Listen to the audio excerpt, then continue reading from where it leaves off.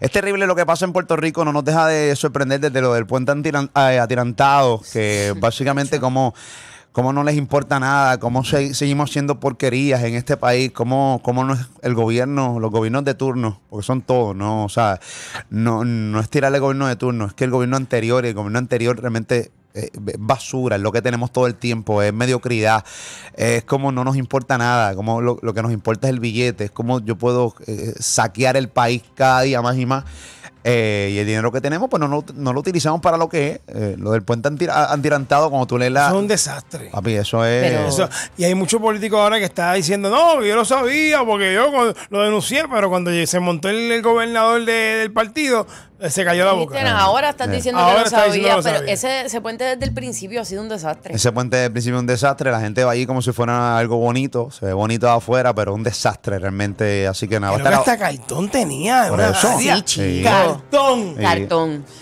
O sea, Eh, unos vicios de construcción bien ridículos. Eso no tiene sentido. La información es que hay que va a estar eh, ocho meses cerrado el puente atirantado, este, en lo que lo remo- eso va a estar Y mucho más. conociendo Pero- cómo trabaja esto aquí, ocho meses se puede convertir en año y medio. Pero ustedes vieron la cantidad de dinero que cuesta arreglar el puente, que es casi lo mismo que costó hacerlo. Más de 30 millones Son de como, dólares. como, ajá, como 30 millones de El- pesos. pero con las misas sueltas se va a terminar gastando como 50 millones porque van a buscar la ¿Sabes? manera de cómo seguir robando dinero. Claro. Bueno, Y cómo su- seguir subiendo los precios y tú tú sabes, la vuelta. cómo hacemos. Y tú sabes la vuelta, papi, no. La y que- historia está ahí. Y papi, no, y a- aumentame esta factura para aquí, aumenta y, y, Exacto, termi- y inflame acá. Y, Ah. y- y la compañía que se está encargando de eso va a salir jaltita de billetes. Con, pues, mano, eso es lo que pasa. Ok, eso fue un ejemplo eh, de lo que está pasando en Puerto Rico, de las cientos de cosas que, está pasando, que están pasando en la isla, que también te puedo enumerar otra cosa más. Que los otros días se bajaron más de 20 mil personas en un cru- de cruceros en el Sí, viejo San Juan. Y la caseta que se supone que haya una persona orientando a los turistas cuando llegan a Puerto Rico en crucero para decirle pues, alternativas turísticas donde pueden ir, estaba cerrada con una nota que decía, si quieren información, comuníquense aquí, vacía. O escanea este QR O, code. y, y- y toda esa vuelta. Así que básicamente fallamos en lo fácil, no servimos para nada como administración. Porque Puerto Rico está a otro nivel. Hay gente que quiere venir para acá todo el tiempo, pero la administración no sirve. Una basura, qué porquería. Ok, dicho eso, vámonos al área oeste, eh, donde llevamos con problemas hace mucho tiempo. Los medios han sido bastante consistentes en llevar el reclamo de lo que está pasando en el zoológico de Mayagüez, zoológico cerrado, y que todavía tienen los animales allí como si no pasara absolutamente nada. Como si no fueran seres vivientes que están sufriendo. Ahí hay unos en huesos, abandonados, con una sarna que se lo está llevando el diablo. Eh, ¿Qué pasó? E- Ese zoológico abierto y parecía abandonado, imagínate de años abandonado. Yo llegué ahí. Sí, claro. Y cuando yo iba, a mí me daba. Yo decía, esto es una vergüenza de zoológico. Este Esto zoológico es una años. basura de zoológico. No sirve para nada. Además de que los zoológicos realmente como que han perdido también. O sea, tampoco deberían existir los zoológicos. De acuerdo. Nada, eso es otra vuelta. Pero eh, tenemos a Silvia Hernández, investiga, que tiene un, un contenido bien interesante para los que les interesa el país, que son pro animales y les interesa todo esto. Silvia, buenas tardes. Buenas tardes, ¿cómo están ustedes? Espero que nos estén viendo y escuchando bien.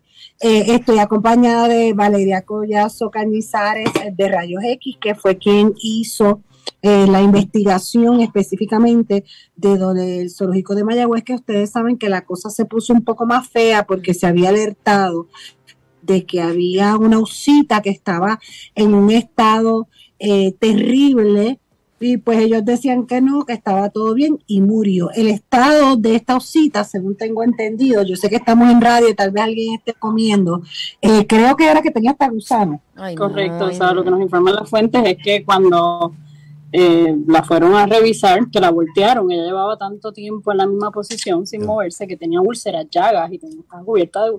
Ay, Dios mío. Y simplemente, o sea, venía enferma hace mucho tiempo, pero como ahí no se consigue anestesia, no se consiguen los medicamentos necesarios, y tenían miedo, ¿verdad?, de que la OSA pues los, los pudiera atacar, no la podían atender. So, aunque iban veterinarios, no le estaban brindando el cuidado médico adecuado porque no tenían los Tú medicamentos. visitaste, el, el muchachos me interrumpen, tú visitaste hace un tiempo antes el zoológico.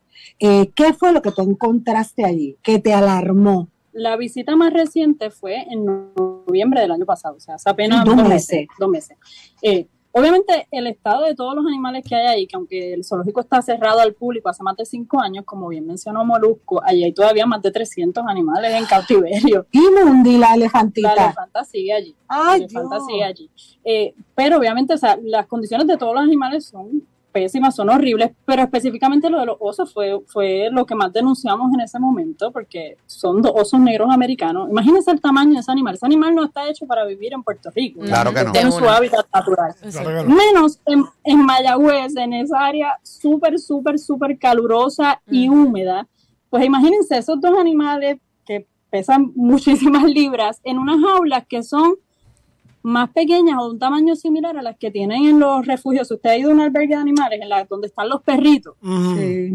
Imagínense cada uno de esos osos en una jaula de ese tamaño, Wow. con un calor infernal, en una covacha, son closets cerrados, o sea, tenían una, una ventanita, un tragaluz, eh, sin ventilación obviamente, sin luz eléctrica, porque no hay luz eléctrica de Fiona, así que no tenían ni para ponerles abanicos, antes les ponían abanicos para qué- Entonces lo que hacían era los mojaban con manguera. Mira, no calor. Eh, eh, Silvia, eh, eh, Verónica, le- les pregu- te pregunto. Valeria. Valeria. Valeria, perdón. Es que, perdón, Dios mío, ¿por qué dije Verónica? ¿Qué, qué, qué imbécil? empiezan con V. Ok, sí, bueno, nada. Zángano. No. Valeria Verónica, lo pido. Bueno, Valeria. Ah, sí. Valeria. Ah, ya. Molu se llama Valeria Verónica So. Ah, pues ya está. Ah, ok. Pues ya. Sí, es que Es somos que tú lo sa- íntimos. tú lo sabías, íntimos. tú lo sabías. Mala mía, es que, es que, pues, hermano, es que lo que pasa es que como yo, como soy prima empanadilla, pues la conozco como Verónica. Mala mía. Embustero. Zángano. Valeria, te pregunto, yo sé que tú has seguido esto, yo, yo he seguido esta historia contigo eh, eh, a través de todas las redes sociales, en Instagram y en Twitter específicamente. Y quiero que le cuente a la gente que está escuchando esto por primera vez, porque hay mucha gente que, que escucha este programa que se enajena completamente de las cosas que pasan en la isla. Pero yo quisiera... O que no sabe simplemente que qué no sabe está pasando. No, sí, pero que, que no, que sí, están- viven otra cosa. Pero, ¿quiénes son realmente los responsables eh, de, de esto? O sea, ¿cuál es el orden cronológico de las personas que tienen que solucionar este problema de los animales que están abandonados en un zoológico de Mayagüez que lleva más de cinco años cerrado? Bueno, el zoológico, o sea, en este periodo de tiempo, antes estaba bajo parques nacionales, pero ese zoológico eh, actualmente y desde hace algunos años es, es administrado por el Departamento de Recursos Naturales y Ambientales del Gobierno de Puerto Rico. Y antes de eso era también, ¿verdad?, de, de parques nacionales que cae bajo el Gobierno de Puerto Rico. Una Es agencia- responsabilidad Una agencia que es casi inexistente. Correcto, que no tienen los fondos para operar. Entonces ahora están diciendo ellos no tienen dinero para darle el cuidado adecuado a los animales que están ahí. Las instalaciones son un desastre y está cerrado desde María. No han usado ni los fondos federales que tienen para reparar esos daños. Entonces otorgan un contrato de medio millón de dólares para diseñar un parque ecológico y un santuario que suena súper bonito, pero Suena lindo en el ¿qué papel. Lo van a hacer con Valeria- los millones que se necesitan. Eh, Valeria, ellos se han expresado, se han pronunciado al respecto. Bueno, ellos, ellos anunciaron, o sea, ayer, ¿verdad? Eh, comunicaron la muerte de, de la OSA, dijeron que había sido porque había cumplido su expectativa de vida. Nosotros ponemos eso en duda también porque no está, clara qué edad- no está claro qué edad tenía y también la expectativa de vida de un oso negro americano en cautiverio puede superar los 35 años, que aún si hubiera tenido los 20 años que ellos dicen, podía tener 15 años más. Y no es tampoco que muera o que cumpla su expectativa de vida, es cómo viven. Correcto. Y sobre, y, y sobre lo demás, pues han dicho que ellos están conscientes de que el zoológico no está en las mejores condiciones, pero que ellos lo van a transformar en un parque ecológico, santuario, y tienen todo este plan tipo Animal Kingdom, con qué fondos lo van a construir, cómo lo van a mantener. Eh, exacto. Sí, aquí, quebrado. Si es lo que tienen ahora y no lo mantienen, que van a, a mantener un santuario No, nosotros, Exacto. nosotros como país, oye, y, y básicamente la historia de, del, del zoológico es la historia de todo, o sea, desde el tren urbano a la historia de todas las cosas que, Todo, que se han todo. hecho. Nosotros siempre pe- em- em- pensamos en construir, meter más cemento o, o crear cosas simplemente para que la gente dice que vea obra, pero al final del día nunca tenemos dinero para mantener absolutamente nada o simplemente no tenemos la capacidad de poder, de poder tener una a, administración sana de que para que para que se pueda mantener simplemente, o sea, Puerto Rico realmente debería ser un país genérico de que tenga cada cosita, porque es que cada vez que queremos tener cosas como que un zoológico, un, o un, Un tren tren, urbano, o un o un estadio, super- o un superacueducto. no, no- no pasa, o sea, no, no sabemos mantenerlo. Primero somos un chorro de ladrones, un chorro de pillo, una búsqueda, una búsqueda todo el tiempo, los grandes intereses nos, nos come, eh, nos come y lamentablemente lo vemos. O sea, no es una cosa que no vemos, es que salimos a cada esquina y cada, y cada obra del gobierno es un desastre. Y específicamente esto del zoológico, a mí me, me cuesta ver las imágenes. Es bien triste, es muy triste. Es muy pobre. triste. Es que raya.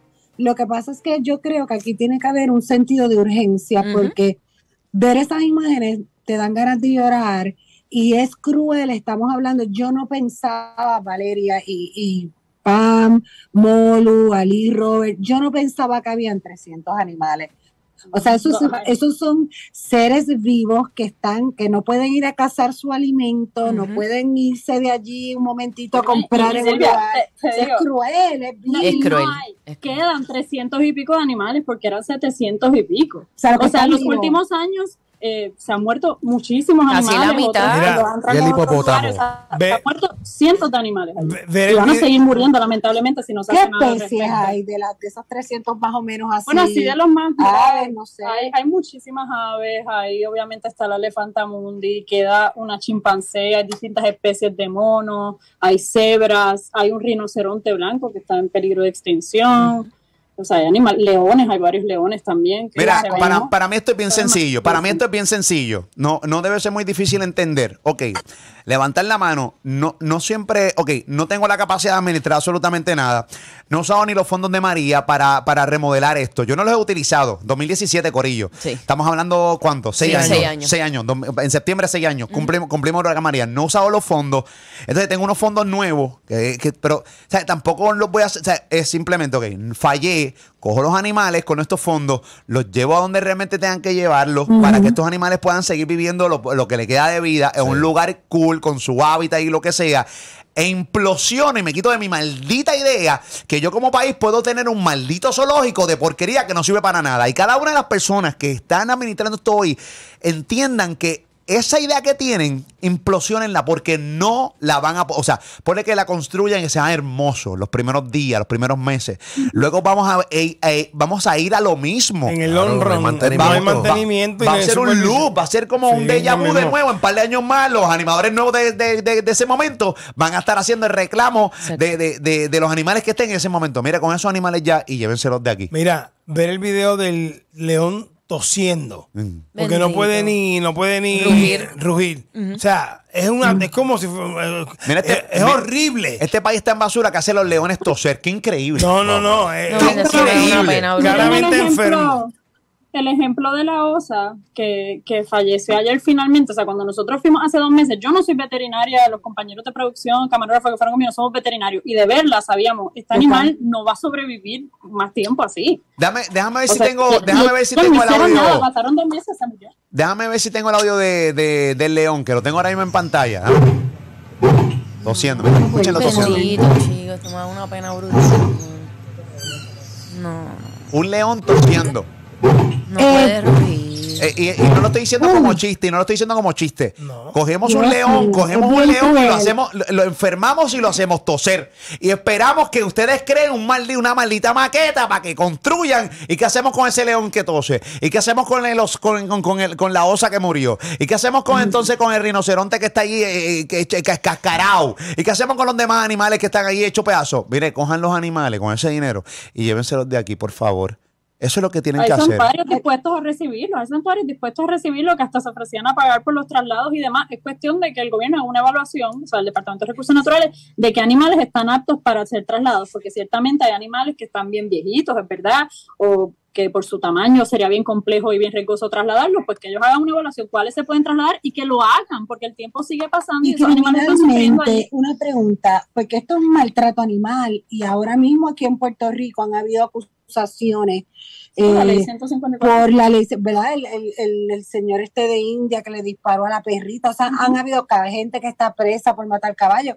¿Y qué se supone? ¿Que aquí se pueden radicar cargos? No sé si tú sabes si es que se esto han, es una se han hecho posibilidad. denuncias y supuestamente el Departamento de Justicia tiene una investigación abierta en la Fiscalía de Mayagüez, eh, ¿verdad? Sobre el zoológico y han entrevistado a los cuidadores y todo. Vamos a ver si esa investigación rinde fruto, porque a veces sabemos también que se Mm. investiga, se investiga y también el tiempo sigue pasando y no vemos los resultados. Eh, y- oye, Corillo, y estamos hablando de, de- de programas que tienen audiencia, o sea, como Rayos X, o sea, las plataformas Sí. de, de Valeria Collazo Cañizares, o estamos hablando que aquí en, en Molusco Rey de la Punta, estamos hablando de que esto se, eh, se ha publicado en toda la prensa del país y, y volvemos a lo mismo. Por lo regular, Puerto Rico funciona de la siguiente manera.